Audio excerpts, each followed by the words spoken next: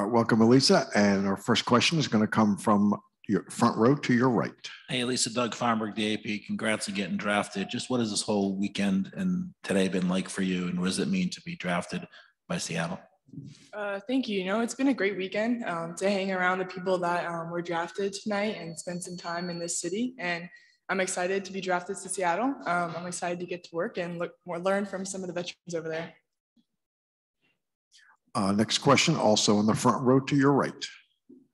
Hi there, Alex Azzi with NBC Sports and On Her Turf. Wondering just what your expectations were coming into tonight and how you feel about going to Seattle. Were they on your radar at all? Um, you know, I didn't really have many expectations for tonight. Um, I know the WNBA is a very tough league to get into um, with the roster spots. So, you know, I was just looking forward um, to hearing my name called, which um, I did. And I'm excited to go to Seattle. You know, I didn't have a specific team in mind that I wanted to go to. Um, so being picked up by Seattle is amazing. Follow up question also from the front row. Um, in terms of the WNBA roster spots, is when did you become aware of that? I've talked to some athletes where they kind of arrived at training camp and were like, "Whoa, I didn't realize how many spots you, there were compared to how many people are drafted."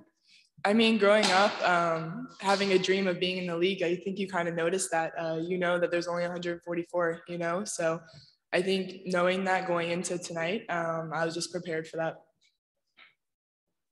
All right, we're going to turn to Zoom and we're going to go in this order. We're going to go JB, Jordan, Jonas, and Trayvon.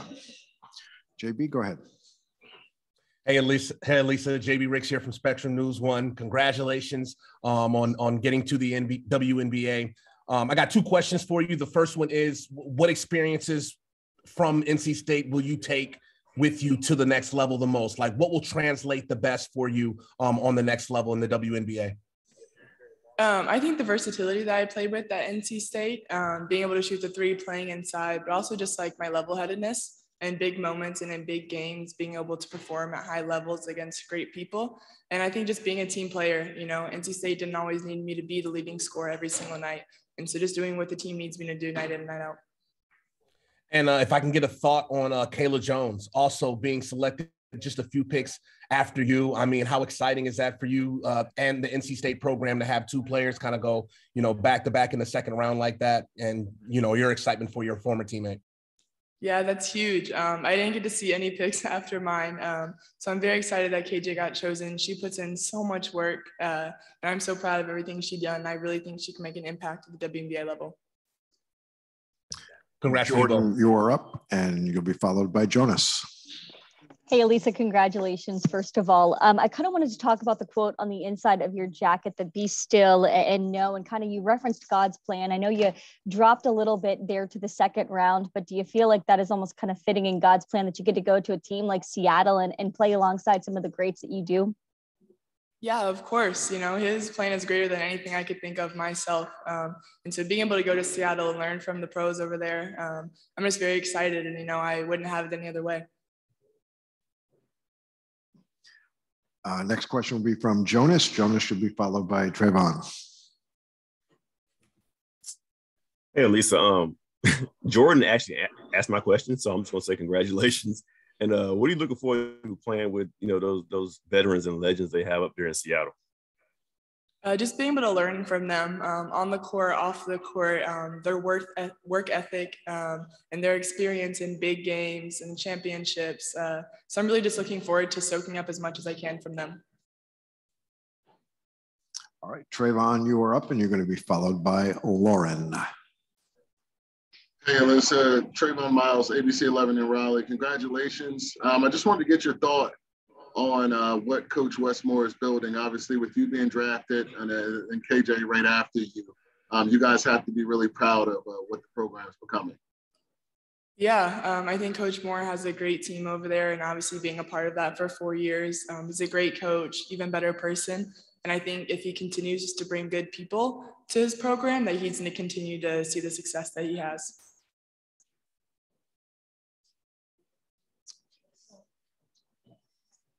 Okay, Lauren, you are up and you're going to be followed by Joe. Lauren, go ahead.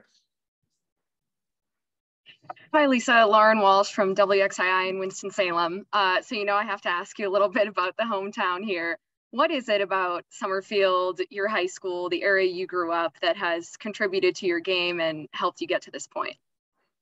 Uh, you know, I think being from a smaller town, um, I wasn't as looked at coming into college um, out of high school. And so I think just kind of being the underdog in that situation, then making it to the collegiate level, um, I have a lot of Summerfield in me and I'm just proud of that. And I think I can definitely take that to the next level. All right, we're going to go to Joe, and Joe, you're going to be followed by Christos and then Brett. Hey, Elissa, this is Joe Serrera from the News and Record in Greensboro. Congratulations on uh, being drafted. I, I, know your dad, Dan, was back home along with your dog Bailey tonight, and you shouted out to them. What does this mean to you and your family being drafted in the WNBA after all the hard work you put in, some injuries that you've overcome, and enjoying this night? Yeah, it's huge. You know, um, my dad couldn't be here tonight, but I'm super thankful for his support, and I know he's proud at home. And just for my mom and brother to be able to be here. Um, you know, the reason why I love basketball so much is because it brings my family together. Um, and so I'm just really excited to continue playing um, at the next level for them. Thank you. Our next question will come from Christos. Christos, you'll be followed by Brett and Jordan. Hello, congratulations, first of all. Uh, how important for you is to be in a training camp and pick up the brains of uh, Sue, Breanna, and Jewell? What and what you would like to learn from them? Um, you know, just their games. You know, I grew up watching Breanna Stewart um, as I was younger, and just her versatility, her able to shoot the ball outside, and then also uh, mid-range, inside, post game. So uh, just soak up as much as I can from her. Um, you know, she's gone so far, and she's such a big player in the league. Um, just being able to be like that um, and learn from her and incorporate into my own game. All right, Brett, you're up. Brett, you're going to be followed by Jordan. Thank you very much. Hey, Lisa, could you go through what it was like uh, watching these picks come and, and being there and having to wait that long and what's going what's going through your mind and what was that like? What was that experience like? Uh, you know, every time a pick was chosen, I was just happy for the individual that was chosen. Um, you know, there's definitely some shifts that went on, but um, I was just very excited for every person that got chosen. And then when it finally came down to my name, uh, I was excited to just walk up to the stage. And as a quick follow up, how, how surprised were you that you lasted as long as you did? Uh, I like I said earlier, I didn't really have any expectations coming into tonight. Um, I was just hoping to hear my name called, which I did. So whenever I heard Commissioner say my name, uh, that was exciting for me. Thank you and good luck. Thank you. All right, Jordan, you're up and you'll be followed by Lauren. Yeah, Lisa, you are a Carolina girl. You know, you went to high school here, you went to college here. You're now about to go to experience a, a different coast, different part of the country. How excited are you just to kind of get to a different area, experience something kind of different than, than what you grew up around? Very excited. You know, I was at college an hour and a half from my house. Um, and so I'm very excited to travel across the country, just different culture, um, different people, and just kind of be independent. All right, uh, Lauren, you are up and you're going to be followed by Trevon. Elissa, is there anything maybe North Carolina or East Coast that you plan to bring over there that you think might be a little different to people in Seattle or some of your teammates? Um, I think myself, you know, uh, I have East Coast in me. I have a little bit of Carolina in me. So I'm excited to bring my game over there. Um, it's something that they probably haven't experienced or even watched as much um, since we are on the East Coast in college. So was excited to go over there, bring myself over there, and honestly, I look forward to the opportunities they have. All right, we're going to go to uh, Jonas. Jonas, go ahead.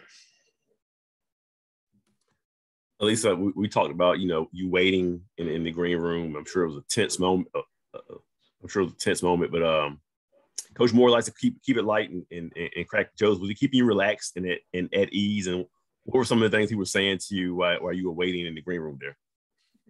Yeah, um, you know, Coach Moore told me um, that when I was going to college, like some coaches that wanted me didn't get me. Um, some coaches that didn't offer me regretted that later. Um, so he said, I'm going to go wherever I go and uh, make whoever that didn't pick me jealous.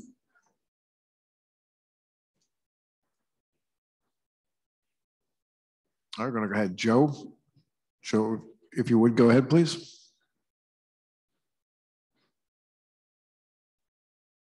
All right, I think Joe dropped off. We're going to go last question, Rafiq. This is Rafiq with nothing but that sports talk. Congratulations on getting drafted to the Seattle Storm. Thank you. Yeah, to pick up on that, you got drafted to a team that's been loaded with history of championships. Like, what do you look to bring into a team that's led by a Sue Bird, Breanna Stewart, and Jewell Loyd? Um, you know, I, I'm used to championships as well from the ACC. So I think just going up there and being able to learn um, from people that have gone all the way in the WNBA and what that takes and the grit it takes to make it throughout the whole entire playoffs and just the skill they have, the knowledge they have. And, you know, I think I can bring um, some more skill to that team and just be able to expand it. And to piggyback on what you said about being used to becoming the champion during your days of college, I mean, you went as far as the Final Four. That's the deepest NC State has ever made to a tournament in last in the most recent college basketball season. What can you tell me about the type of championship player that you developed to become going to the WNBA?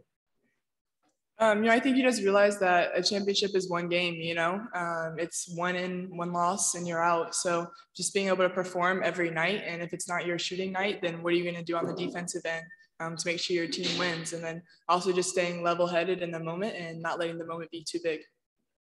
Appreciate your insight. Enjoy your WNBA career. Thank you. And one more question from the back left. Hi, Lisa. Congratulations. I'm Gigi Spirit, WFUV Sports. We're coming off an unprecedented year last year with the WNBA viewership, and then this year with March Madness viewership. How for you does it feel to be a woman in sport and be pioneering now in a professional professional career? Um, I love it. You know, I think we're in such a time of change right now, and I'm excited that I get to bring my value um, to the league, not necessarily on the court, but off the court as well. And just being able to be a part of the organization that so many women have put their lives into building over the years and being able to be a part of that.